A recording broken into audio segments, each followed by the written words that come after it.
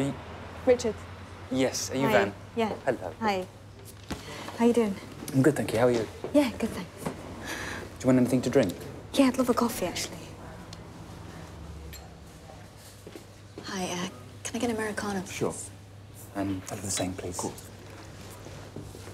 Thank you so much for coming at such short notice. That's okay. I hope I can help. I can't remember whether I told you on the phone. Um, she's the mother of a, of a very dear friend of mine who died recently.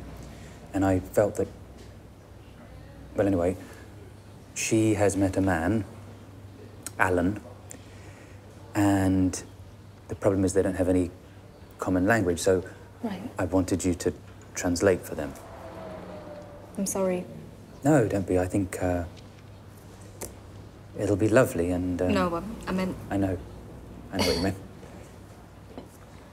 She speaks the four main dialects. She speaks Mandarin, mm-hmm. Cantonese, Hokkien, mm-hmm.